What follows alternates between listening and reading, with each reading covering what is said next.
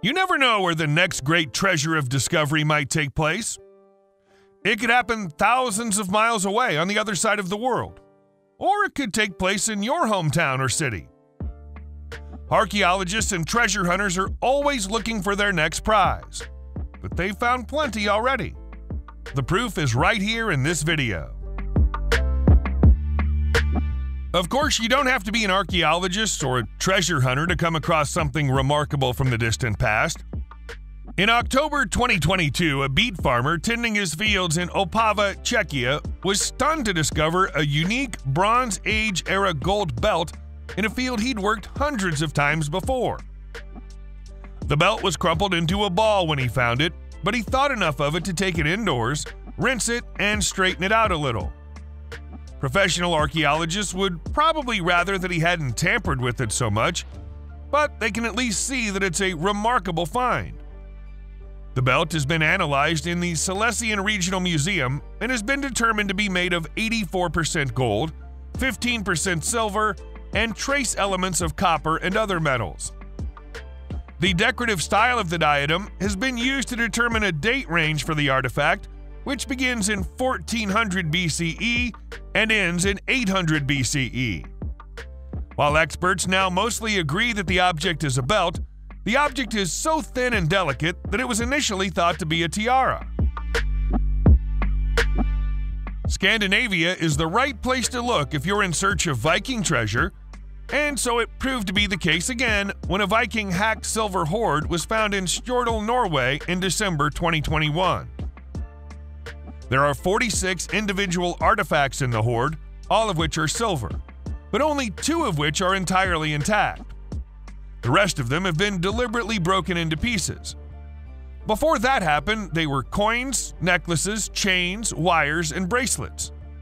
The hoard is unusual because most Vikings hacked silver finds are made up of various fragments of different objects. In this case, all the pieces of each object are still present in the hoard. The Vikings cut silver up like this because they used the pieces as a form of currency, with the value of each piece based on its weight. Norway was a late adopter of coin based currency, with no coins minted in the country until the 9th century. These silver pieces were hacked early in that century and would have replaced the barter based economy that existed before it. The total value of the hoard would have been worth about half the price of a cow at the time. We've just seen some hacked Viking silver, so how about some unhacked Viking silver? A silver hoard made up of precisely that has recently been discovered within the ancient Viking settlement of Täby in Sweden. The collection is made up of coins and silver jewelry, all of which are in pristine condition. It was found beneath the wooden floor of a Viking Age house where it was hidden deliberately around a thousand years ago. The eight braided neck torques in the collection are in exceptionally good condition, but the two arm rings, 12 coins, set of beads, and single silver finger ring are in better condition than the average for finds like this. All of the coins have perforations on them, suggesting that they may once have been worn as pendants. Not all of the coins are Viking.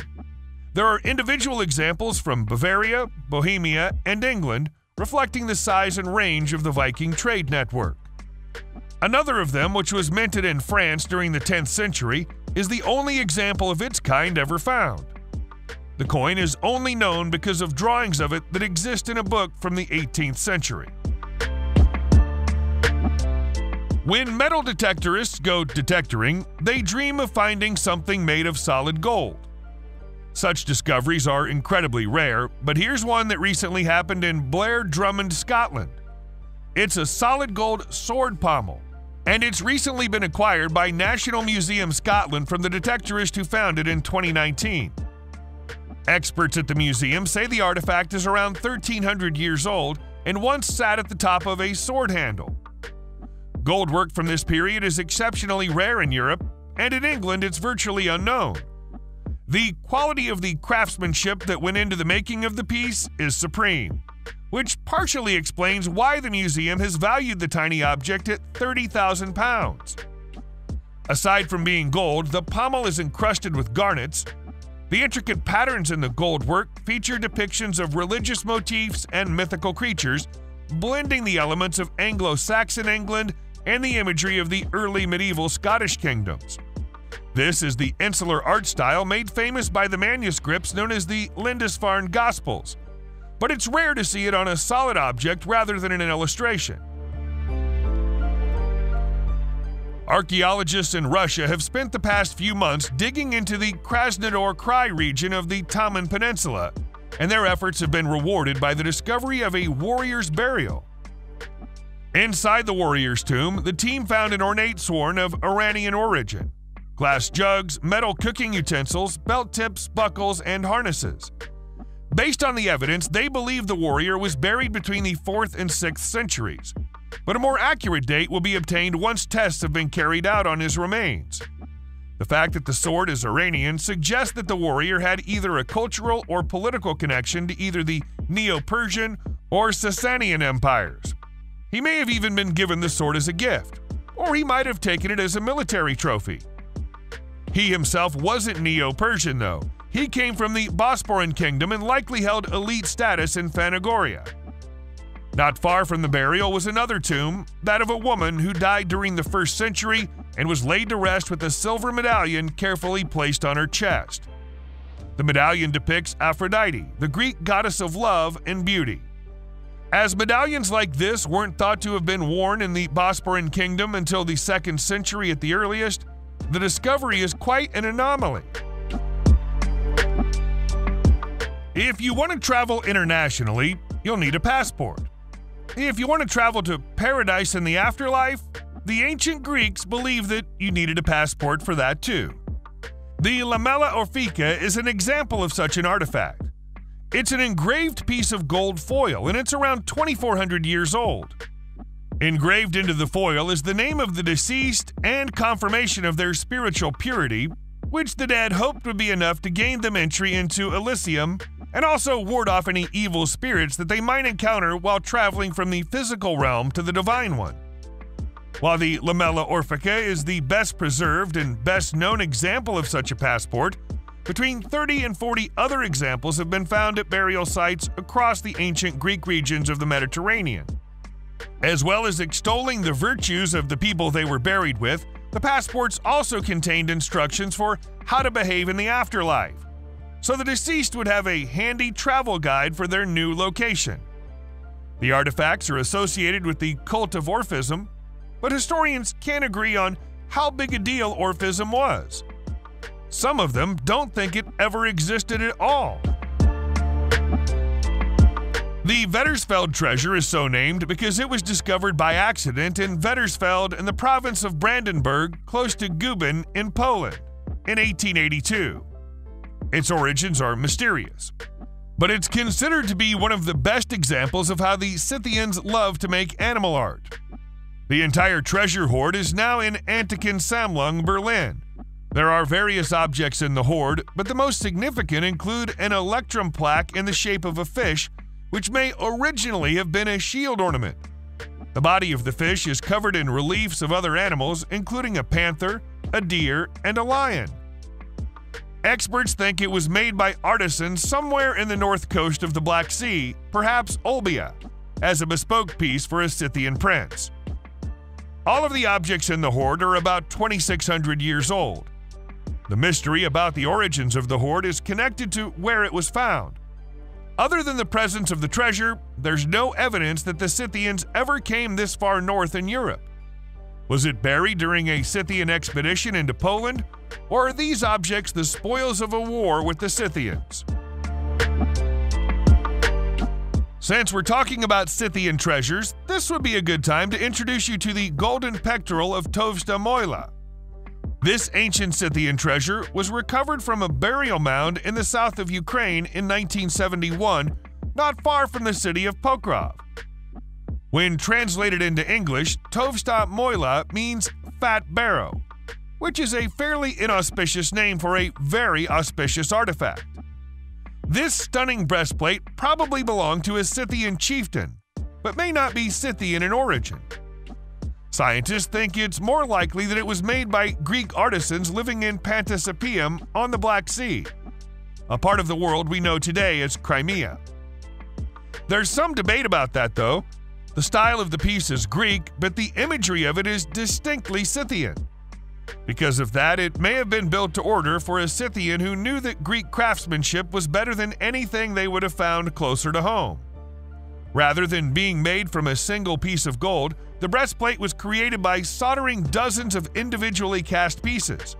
A remarkable achievement for someone who lived more than a thousand years ago. We're back to treasure hoards now, and we're specifically talking about the Reka Devnia hoard. This is the most valuable and significant collection of 1st, 2nd, and 3rd century Roman coins ever to be discovered, and it was found close to the town of Devnia in northern Bulgaria in 1929. Back in the time of ancient Rome, Devnia was known as Marcianopolis. Each of the coins in the hoard is a denarius, and there are over 81,000 of them in total. The oldest of the coins were minted during the reign of Mark Antony, of which there are 29. And the most recent is a single coin bearing the face of Herennius Etruscus, who was briefly emperor in 251. For reasons nobody can recall, the hoard was divided into two after it was discovered, with 68,783 coins sent to the Museum of Sofia and the remaining 12,261 to another museum in Varna. Other emperors featured on the denarii include Nero, Otho, Aelius Caesar, Claudius Albinus, and Julia Paula. Without the discovery of this collection, constructing the chronological sequence of coinage from the era would likely have been impossible. In 1978, a gravedigger set about his business in a churchyard in Pentney, Norfolk, England. He didn't know it, but he was about to find a collection of Anglo Saxon jewelry that's now known as the Pentney Hoard. It's a small hoard in terms of volume, made up of just five silver openwork disc brooches and a sixth brooch made of silver and copper alloy. But it's such a significant find in terms of the jewelry of that era that it was immediately acquired by the British Museum, where it's been on display ever since. Each of the brooches is decorated in a distinctive manner known as the Trewhiddle style of the 9th century. Five of the brooches are believed to have been made during that century, with one, the smallest in the collection, made about a century earlier. All of them are intact with their pins, springs, and hinge components all present. The rarity and condition of the brooches contribute heavily to their value. When the British Museum bought them in 1978, it did so for £137,000. That's the equivalent of £670,000 today. The lucky gravedigger received all of the money, but he donated 25,000 pounds of his windfall to the church he worked for. Here's another ancient treasure that was found in England, but this one isn't Anglo Saxon. It's the Corbridge Lanx, so named because it was found close to the village of Corbridge in Northumberland, England in 1735. The artifact is a silver dish made during the country's Roman era, probably in the 4th century, as the Roman period of occupation drew to a close. More treasure was found at the same time as the Corbridge Lanx, but the dish is the only thing left. All the other artifacts disappeared and were likely sold on the black market, but none of them has ever been found again. The Corbridge Lanx survived because it became the property of the Dukes of Northumberland, but the incumbent Duke sold it to the British Museum in 1993. The tray is exquisitely well decorated with scenes drawn from ancient myth and legend, and was likely used as a serving dish during banquets. Some historians believe it might instead have been a ritual tray used during sacrifices, but there's no solid evidence to support the idea.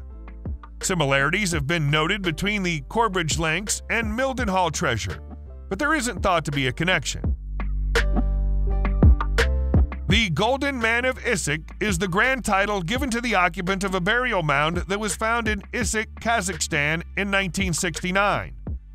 Inside the mound, which is of a style known as a kurgan, were the skeletal remains of its occupant, funerary goods, the equipment and weapons of a warrior, and more than 4,000 gold ornaments. Scientists have been able to tell us that the tomb's occupant was only around 18 years old when they passed away, but have never been able to determine their gender.